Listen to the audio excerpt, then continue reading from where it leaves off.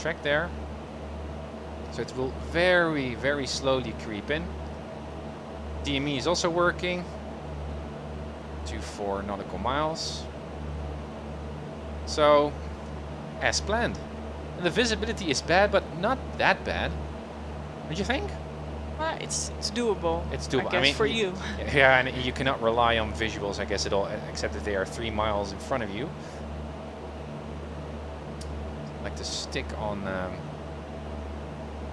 Oh, 3,000 feet. yep. Scandinavian, you are absolutely right. We didn't set the clock. oh no no no no! I would like to make an emote, I guess, of a clock, but then a commander. Thanks for following.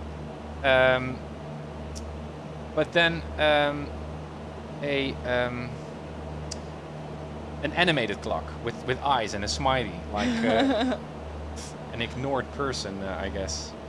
So when do we need to do the part seven of the checklist, the cruise part? Uh, in, in just a sec, in just a sec. I'm now catching that radial, so we're now exactly on the radial, right? Exactly Yeah. in the middle, so now I'm flying 246, or 24 to the 247.